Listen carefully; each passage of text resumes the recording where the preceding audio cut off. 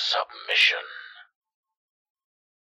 In any city, in any country, go to any mental institution or halfway house you can get yourself to.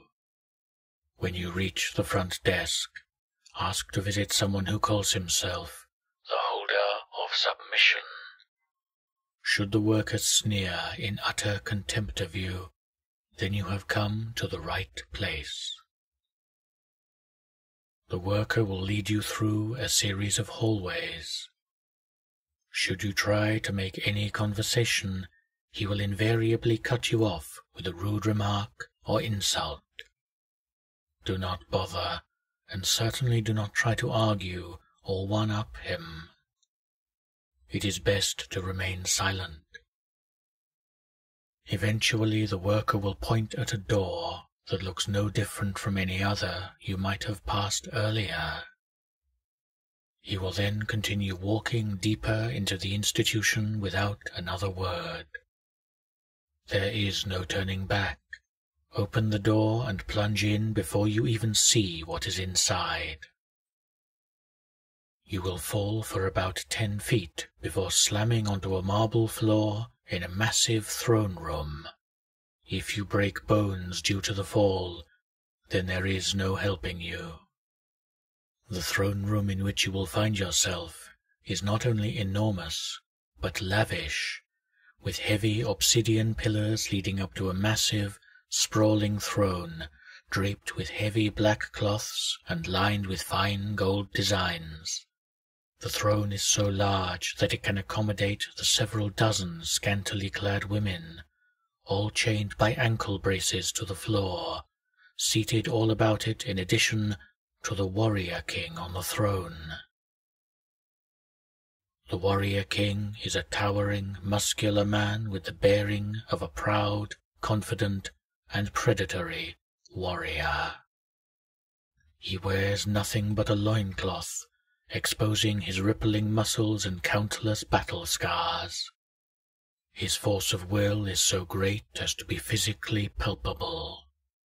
This warrior king has clearly seen many battles and is strong enough to slay a thousand men with ease. He will fix you with a stony glare of utter contempt. Be quick, for the warrior king has little patience. Ask him to what power will they submit? The warrior king will roar with laughter, not of mirth, but of condescension directed at you. He will boast that no entity is more powerful than he, and that he cares not for the holders or the objects or him. He will demand that you cease your quest and become one of his lieutenants, that he will provide you anything you need, no matter how outrageous the request, so long as you never leave his palace, nor think or speak of the quest for the objects ever again. The warrior king's power is so great that even the staunchest, most determined person might be swayed to submit to him. Nevertheless, if you are truly determined to collect the objects, you must stand strong and not bow to his immense presence. Instead, firmly repeat the question. This time, the warrior king will roar angrily. His concubines will be scattered and smashed against the obsidian pillars by the force of his outburst, and the very foundations of the throne room will tremble with his rage. You will certainly be sent sprawling, but do not allow yourself to be cowed by the warrior king's rage. This time, the warrior king will call you a fool among commoners, and that your best hope is to abandon your quest to become his servant, cleaning up whatever mess he leaves behind after the violent battles and large orgies he has every day.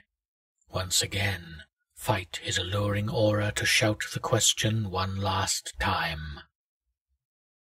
Now the warrior king will grow silent and look you in the eye.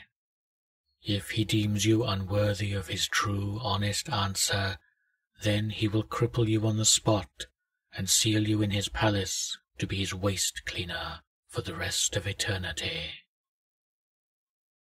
If you are worthy, however, the warrior king will tell you, softly, why he fears him and why he fears the gathering.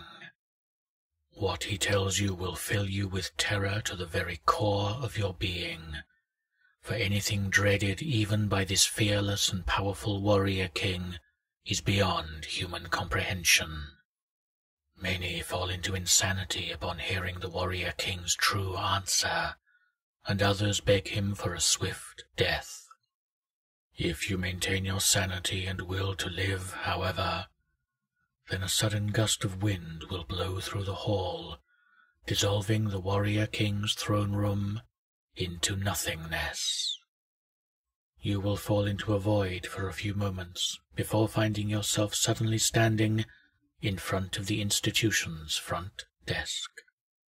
The visibly annoyed worker will be holding one of the ankle braces that confined the warrior king's concubines to his throne. That ankle brace is Object 137 of 538. You submit to nobody, but they will find a way to break you.